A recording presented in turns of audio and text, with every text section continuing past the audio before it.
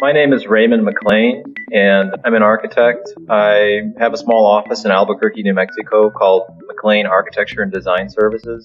Our company was founded in early 2012. We have two architects and two assistants working with us. As a small business, what keeps me up at night is being able to be as fluid with our workflow processes as possible. So we need to be able to move between vector-based, graphic-based, video-based technologies pretty seamlessly. With Autodesk Revit and the Building Design Suite, we really achieve a flow in our everyday work processes that assures uh, smooth transitions between applications.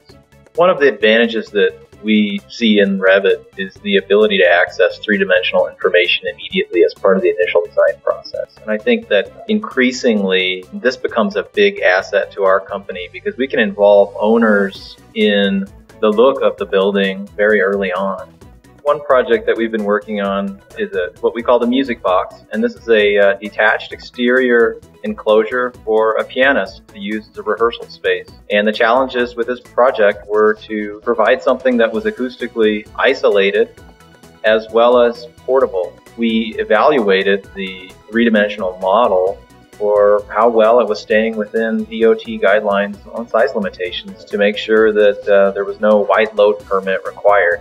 I do feel for an office of our size that we do have the tools that put us at an advantage. The smoothness of the workflow that I'm, I'm really achieving with Revit and the Building Design Suite products is, is crucial on a daily basis.